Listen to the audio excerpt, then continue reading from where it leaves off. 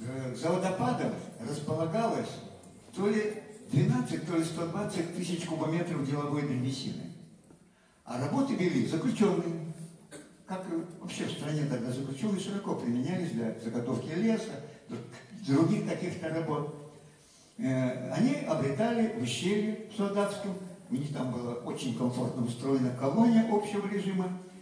И один раз я пошел рыбачить форель ловить, и смотрю, у них на шлагбауме написано «Проход закрыт, взрыв работы». Что-то меня защемило. Я подошел, там лейтенант это самое, «А что за взрыв работы? Да вот, говорит, слева будем а водопад обходить. Как? Дело в том, что этого водопада, откройте, пожалуйста, его там нету, да? Ну-ка здесь, откройте водопад Свадакский. Вот здесь близко, 117 страница. Это мой водопад. Это мой водопад, господа. Мой.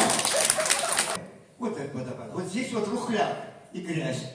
И дорогу проложить, она будет плыть и закопаться. Они решили вот это взорвать, это разровнять, сделать серпантину и вывести эти несчастные 120 тысяч или 12 тысяч кубометров древесины. И куда я и в Владикавказ приехал, и у себя в районе. Все, некоторые люди, да, да, конечно, жалко. Но это же столько древесины. Древесина срубитель новая вырастет. А я говорю, 120, это может быть 120 миллионов лет он льется. Вы что делаете? Глухо. Что вы предложили бы сделать, я хочу узнать. Что делаете?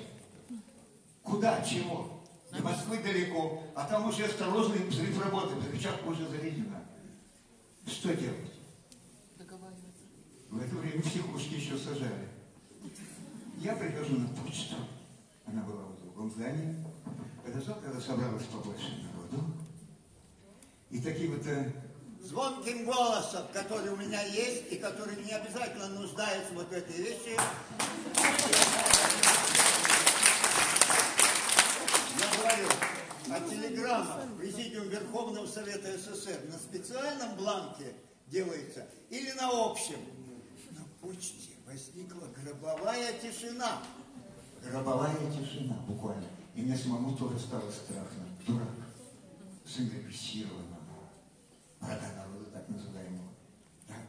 Что я наделал? Буквально через 15 минут совершенно незнакомые мне два очень тщательно одетые молодые человека, я запомнил из под рукавов вот здесь высовывалась белая полосочка рубашек. Подошли. Скажите, в чем дело?